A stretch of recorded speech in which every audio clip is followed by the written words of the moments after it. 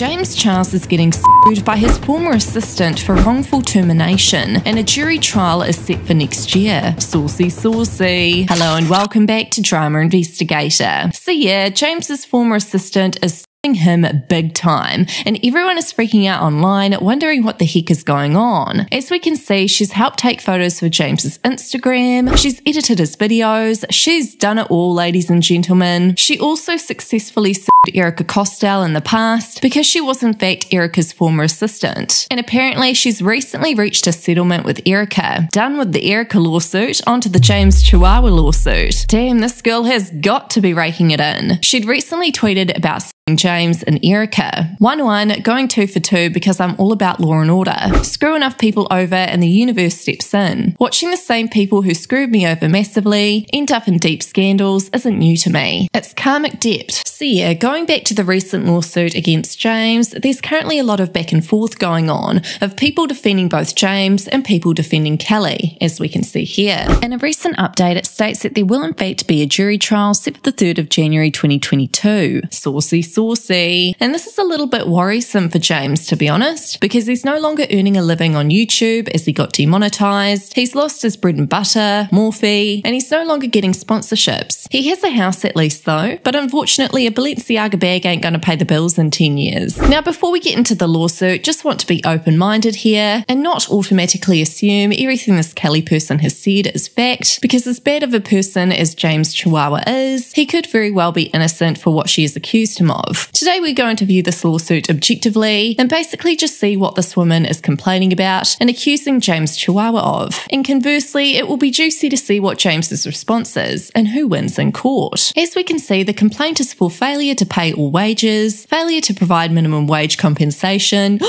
failure to provide overtime and double time compensation, waiting time penalties, disability discrimination failure to provide reasonable accommodation, failure to engage in good faith interactive process, retaliation, and wrongful termination. So let's skip right to the statement of facts and see what James Charles is getting accused of. This case presents the compelling story of a hard-working employee who was terminated by Sister Sister in retaliation for her medical condition and her engagement in protected activity in relation to her former employer, Costell Enterprises. On April the 2nd, 2018, Ms. Rocklands began her employment employment with Sister Sister as a video editor. Throughout the initial period of her employment, Ms. Rockland was constantly praised for her hard work, dedication, and talent by Mr owner and operator of Sister Sister. On July 9, 2018, in recognition of her stellar performance, Ms. Rockland was promoted to producer of Sister Sister. Ms. Rockland gladly accepted the position. However, after promoting Ms. Rockland, Sister Sister never hired a replacement editor, which required Ms. Rockland to perform both roles simultaneously. This required Ms. Rockland to work upwards of 12 hours per day and 7 days a week to meet the ongoing production needs of Sister Sister, despite performing both roles and working extensive overtime hours as a result, Ms. Rockland was not provided overtime compensation. Now, I can literally just imagine James saying, So many people would do anything for this job. Everyone would love to work for me no matter what. So you can imagine what Ms. Rockland had to go through. Ms. Rockland informed defendants that these grueling hours were unsustainable and requested the editor position be filled. Ms. Rockland also informed defendants that she was not being paid overtime wages. Throughout her employment with Sister Sister, Ms. Rockland never received any wages for any of the overtime hours that she worked. In response, Mr promised that he would repay Ms. Rockland by providing her a raise in six months' time that would compensate her for the unpaid overtime premiums. Ms. Rockland's incredibly long working hours began to take a toll on her physical and emotional well-being. She continued to raise these concerns to defendants and implored them to hire a new editor so that she could return to her normal working hours. Nevertheless, a new editor was never hired during Ms. Rockland's tenure with Sister Sister. On September 4th, 2018, Ms. Rockland suffered a head injury. While in the presence of Mr that resulted in her experiencing headaches, temporary loss of consciousness, confusion, amnesia, dizziness, ringing in the ears, nausea, vomiting, slurred speech, delayed responses, fatigue, difficulty concentrating, sensitivity to light and noise, sleep disturbances, psychological adjustment problems, anxiety, and depression. This resulted in Ms. Rockland losing consciousness and being admitted to the emergency room via ambulance. Ms. Rockland's hospitalisation caused her to miss time at work and caused delays in meeting video production goals. Rather than showing any concern or empathy for Ms. Rockland's serious medical condition, Mr Dixon callously accused her of not being dedicated to her job as a result of her work being delayed while she was hospitalised. Upon returning to work, Mr. Dixon convened a meeting with Ms. Rocklin, wherein he chastised her for falling behind on video production during the period she was tending to a medical condition. Specifically, Mr informed Ms. Rocklin that he was disappointed with the fact that production projects were not compelled while Ms. Rocklin was hospitalised. Mr. It went as far as to say, I want to be your friend, but I'm your employer. And the fact that your health was the reason why the video didn't go up doesn't make it a reason for an upload not to take place, or words to similar effect. Concurrent with Mr. In person disregard for Ms. Rockland's medical condition, he would send her text messages stating her health condition was important to him. Ms. Rockland texted Mr regarding his duplicity, questioning why he appeared considerate of her medical condition in text, while repeatedly chastising her for missing time during in person conversations. James responded by denying that the in person conversation occurred, stating, Messages like this make me question whether or not you are actually 120% invested in the team. On September the 11th, 2018, Ms. Rocklin was readmitted to the hospital for a fourth time in connection with her head Ms. Rockland's treating physician diagnosed her with a concussion and instructed her to take a week off of work in order to recover. Ms. Rockland informed Ms. of her medical condition and need for leave of absence. Mr.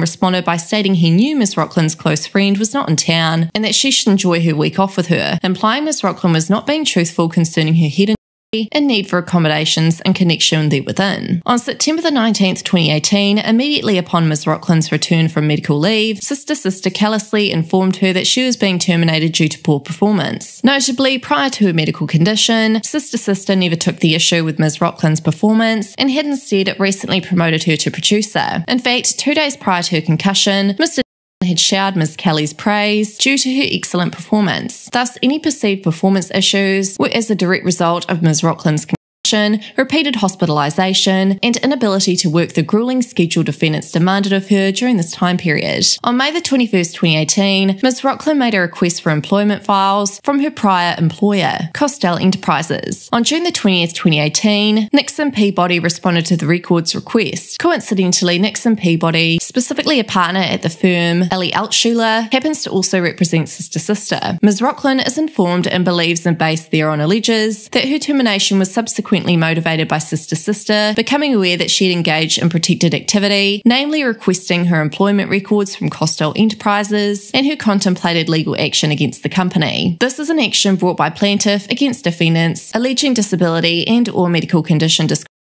failure to provide reasonable accommodations, failure to engage in good faith interactive process, and retaliation. So, here in the first cause of action, it goes in depth about James's failure to pay all wages upon separation. At all relevant times herein, defendants were required to compensate their employees for all hours worked upon reporting for work at the appointed time stated by the employer, pursuant to Industrial Welfare Commission. Furthermore, defendants were required to pay employees all wages upon separation of employment pursuant California labour Labour Code. Defendants have failed to pay plaintiffs proper minimum wage compensation or overtime compensation for any overtime hours worked. Under the aforementioned wage order and regulations, plaintiff is to recover compensation for all hours worked, but not paid by defendants for the three year period prior to filing of this action. Defendant's conduct described herein violates Labour Code. Plaintiff is entitled to recover damages for the non payment of wages, penalties, plus reasonable attorney fees, interest, and costs of suit therein. Seeking cause of action, failure to provide minimum wage compensation. Defendant and each of them failed to pay the minimum wage to plaintiff for all overtime hours worked during the entire course of her employment with defendants. Plaintiff is therefore entitled to the recovery of such amount, plus interest and penalties thereon, attorney's fees, and costs pursuant to Labour Code, and an amount according to proof at trial. Plaintiff is also entitled to the recovery of liquidated damages pursuant to Labour Code as the result of defendant's failure to provide minimum wage in an amount equal to wages unlawfully withheld and attorney's fees and costs pursuant to Labour Code in an amount according to proof at trial. Here is the third case of action which delves into James's failure to provide overtime and double time compensation by defendant's policy of requiring non-exempt employees to work in excess of 8 hours in a workday and or 40 hours in a work week without compensation such as employee at the rate of time and one half for overtime hours worked as a alleged above, defendants willfully violated the provisions of Labour Code. The lawsuit then goes into waiting time penalties, and then it discusses disability discrimination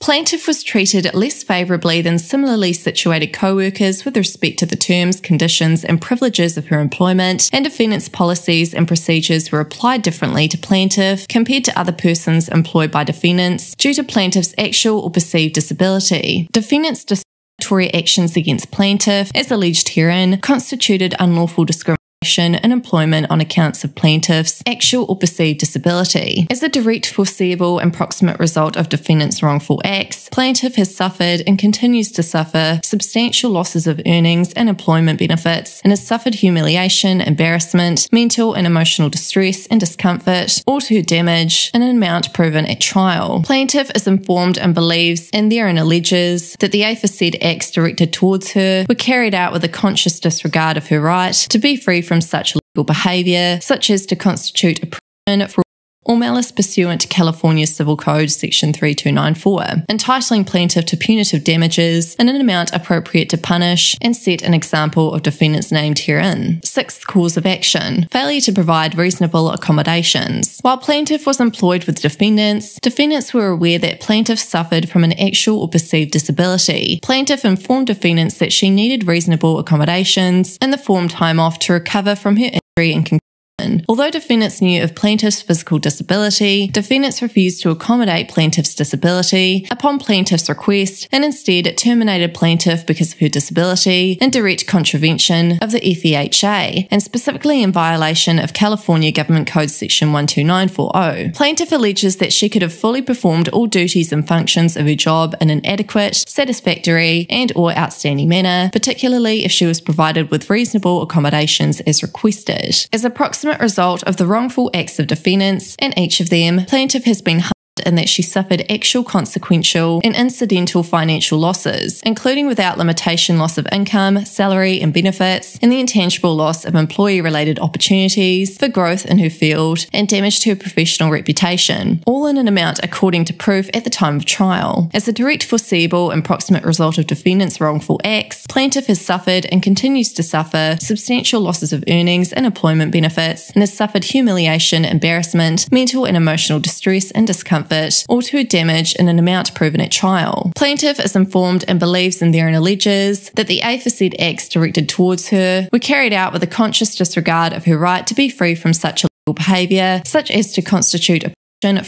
malice pursuant to California Civil Code Section 3294, entitling plaintiff to punitive damages in an amount appropriate to punish and set an example of defendants named herein. Seventh course of action failure to engage in good faith interactive process. While plaintiff was employed with defendants, defendants were aware that plaintiff was disabled and required accommodations. In fact, plaintiff requested reasonable accommodations and was terminated upon her return to work. Plaintiff is informed and believes and therein alleges that at no time did defendants engage in any sort of interactive process as required by California Government Code to accommodate plaintiff's known disability and instead terminated her employment for requesting reasonable accommodations. As a proximate result of the wrongful acts of defendants in each of them, plaintiff has been and that she's suffered actual consequential and incidental financial losses, including without limitation loss of income, salary and benefits, and the intangible loss of employment related opportunities for growth in her field and damage to her professional reputation, all in an amount according to proof at the time of trial. Eighth course of action, retaliation. Thereafter, rather than providing plaintiff with reasonable accommodations, defendants retaliated against plaintiff. The acts of retaliation include, but are not limited to, terminating plaintiff plaintiff's employment upon her return to work from her leave of absence. The foregoing conduct constitutes acts of retaliation performed by defendants in response to plaintiff's conduct in asserting the existence of her disability and requesting reasonable accommodations in connection with the same. Ninth course of action retaliation. As alleged above, plaintiff was retaliated against because she requested her employment file from her previous employer, Costell Enterprises. Ms. Altschuler, who represented both Sister Sister and Costell Enterprises, responded to the request. Defendants then retaliated against Ms. Rocklin for exercising her rights under the California Labour Code and wrongfully terminated her employment. As a result of the actions of defendants, and each of them as alleged herein, plaintiff is entitled to a civil penalty in the amount of $10,000 for each violation pursuant to Labour Code. 10th cause of action, wrongful termination. As a direct result of the discriminatory harassment and retaliatory acts by defendants, plaintiffs was terminated in direct violation of public policy. Defendants knew or reasonably should have known of the intolerable discrimination acts and conditions of the impact on and other employees similarly situated and could have remedied the situation. So, lastly, in the complaint, there is a prayer, which basically means that this is what Plaintiff Kelly is asking from the judge and hopes to receive as a result of taking James to court. So, after reading Kelly's side of the lawsuit, what are your thoughts on this whole situation? Do you think she will win? Let me know in the comments.